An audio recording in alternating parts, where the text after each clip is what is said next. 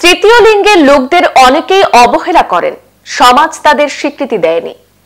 কিন্তু জনগণের সহায়তায় এগিয়ে এসে দৃষ্টান্তের সৃষ্টি করেছে বাংলাদেশের ঢাকার বঙ্গবাজারে সংঘটিত অগ্নিকাণ্ডে বিধ্বস্তদের পাশে দাঁড়িয়ে।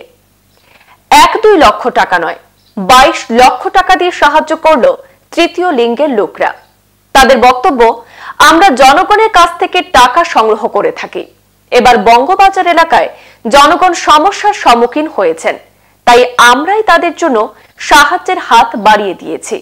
রবিবার স্থানীয় ব্যবসায়ী সমিতির কাছে চৌষট্টি জন তৃতীয় লিঙ্গের মানুষ কুড়ি লক্ষ টাকা তুলে দেন এবং একজন এককভাবে দু লক্ষ টাকা দিয়ে সাহায্যের হাত বাড়ান।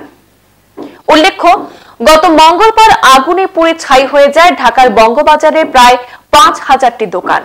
কালো ধোঁয়াতে ঢেকে গিয়েছিল পুরো এলাকা। সেই আগুন নিয়ন্ত্রণে আনার চেষ্টা করেছেন ফায়ার সার্ভিসের কর্মীরা। আগুন নিয়ন্ত্রণে আনতে ফায়ার সার্ভিসের পঞ্চাশটি ইউনিট কাজ করেছে। তাদেরকে সাহায্য করেছে সেনাবাহিনী, বিমান বাহিনীর হেলিকপ্টারও।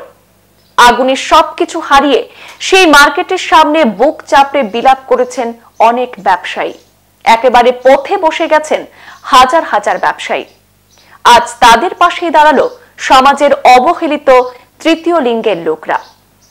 পঁয়ষট্টি জন তৃতীয় লিঙ্গের মানুষ স্থানীয় ব্যবসায়ী সমিতির কাছে বাইশ লক্ষ টাকা দিয়ে সাহায্য করেছেন।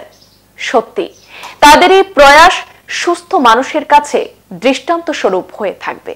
সংবাদ এই পর্যন্তই, ফিরছি পরবর্তী অন্যান্য আপডেট নিয়ে সঙ্গে থাকুন। ধন্যবাদ।